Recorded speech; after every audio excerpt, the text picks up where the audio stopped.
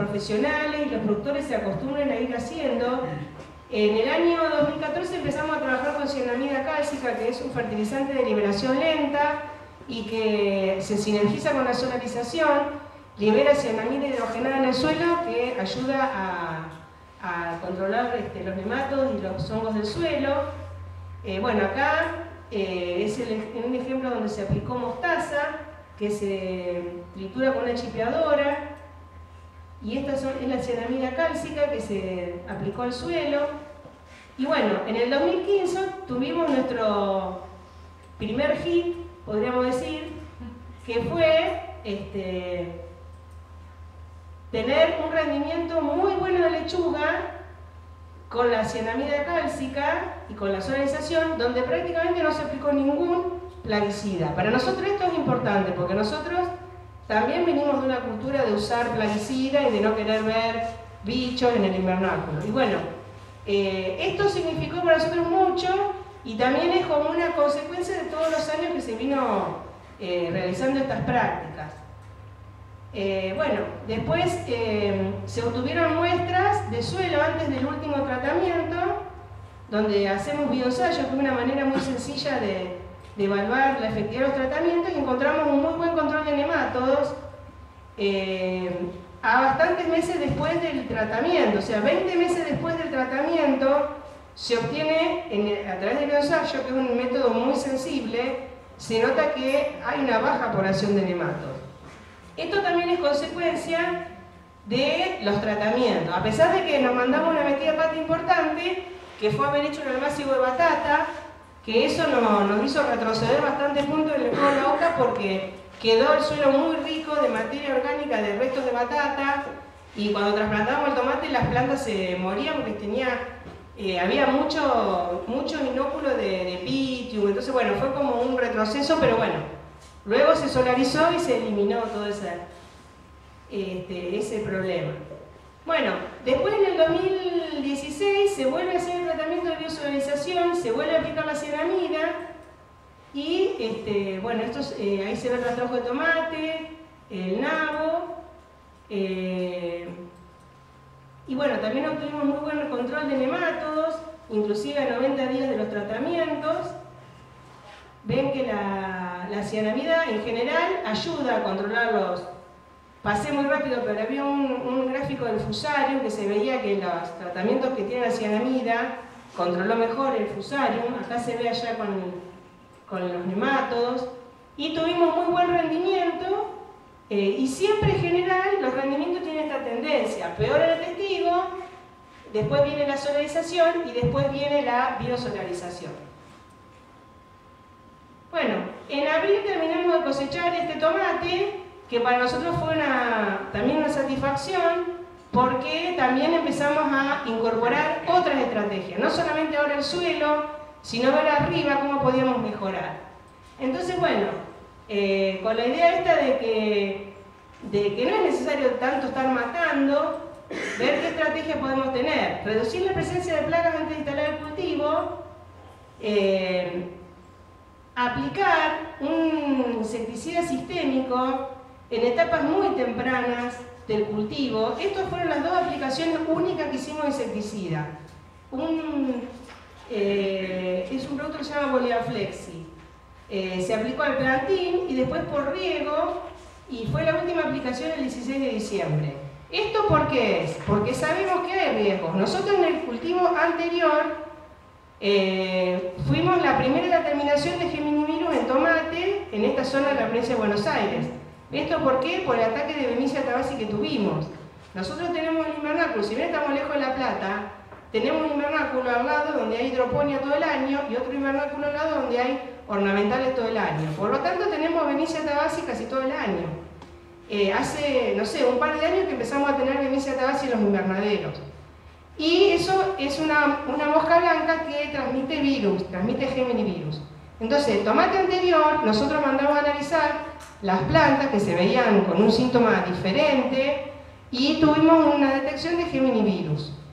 Entonces, bueno, sabemos que no podemos tener tanta mosca blanca en el eh, cultivo. Por eso hicimos esas dos aplicaciones. Después hice una aplicación con oxicloruro de cobre que es una aplicación que se hace para la prevención de, del cancro bacteriano.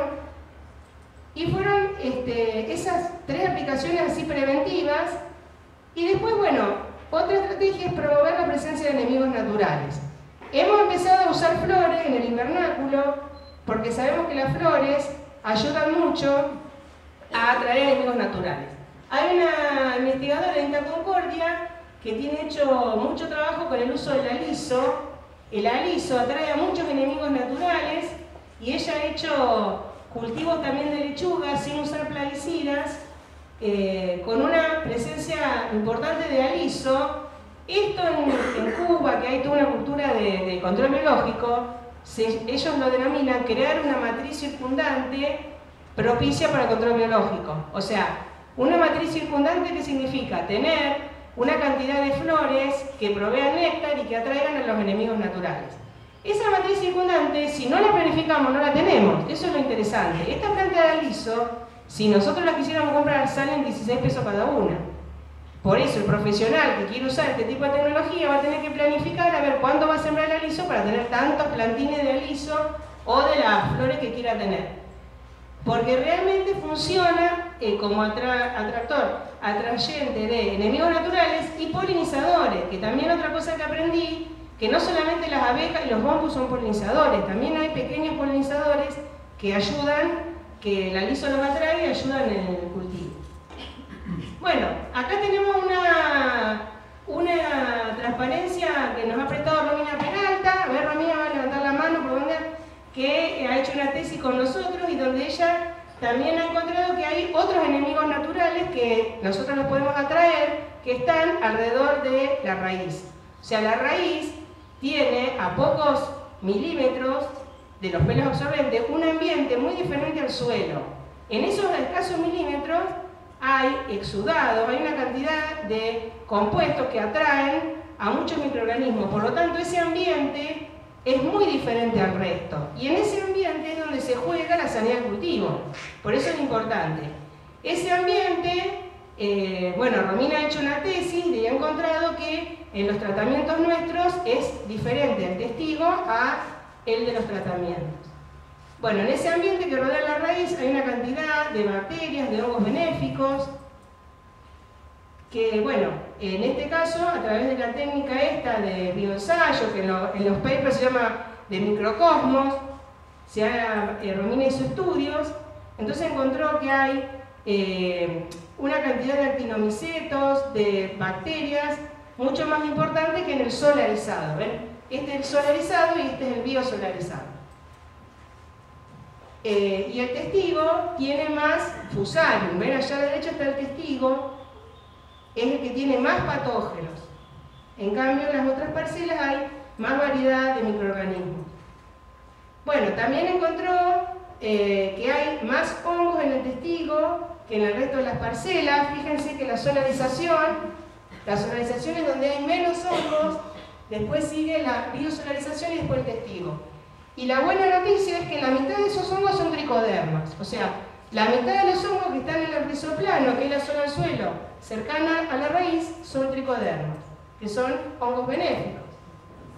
Así que bueno, también encontró eh, actinomicetes, más actinomicetes en el testigo que, en el biosolarizado y en el solarizado. Los actinomicetes también son microorganismos benéficos, son eh, bacterias que forman una especie de IFA, pero son organismos benéficos. Bueno, nosotros hemos tenido muy buenas experiencias con productores. En Zárate hemos tenido muy buen control de nematos con un productor que se llama Néstor Paulinelli, que es como un campeón de la horticultura. Es una persona muy sabia, si ustedes lo quieren ir a visitar. Eh, donde, bueno, también acá los trabajos que se hacen en el laboratorio, eh, hemos encontrado que eh, la solarización eliminó gran parte de los hongos y gran parte de los hongos patógenos patógenos. También en Escobar hicimos este, experiencias. Eh, un día si tienen tiempo les voy a hacer escuchar los videos de los productores que están muy buenos, los productores quedaron muy contentos, tuvieron cultivos sanos sin usar tantos plaguicidas y sobre todo, bueno, en ese, el productor este, había, él quería controlar la ortiga, porque tenía problemas con la ortiga. Bueno, Nosotros redoblamos la apuesta este año y empezamos a usar otras tecnologías, empezamos a aplicar trampas de feromona. Eh, la, la, feromona está acá en una cápsula, se cambia cada 40, días. ¿Querés, no sé, Gonzalo, querés explicar un poco la, cómo funciona la trampa esta? Sí, yo lo que, no, estoy seguro, ¿cuánta, ¿cuánto está? ¿Hay 4 por...? Pusimos 6 en 400 metros cuadrados. bueno. Sí, bueno, trae machos de de tuta absoluta. Es, la feromona que, usan, es la de la hembra sintetizada, ¿no? Sí, yo sé que atrae los machos y que, bueno, no tuvimos, no tuvimos daño polilla, fue increíble, no tuvimos daño polilla. El principio es el mismo que el de las otras de feromona en general, ¿no? Que atraer y matar o atraer para monitorear, estas son para control, las trampas estas.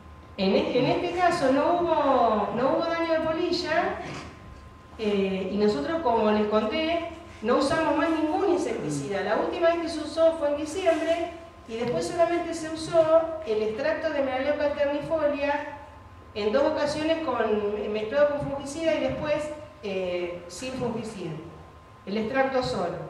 Y solamente la mitad de las parcelas. O sea que hubo parcelas que no tenían nada. Y estas son las caídas de adultos de polilla, pero no tuvimos daño de polilla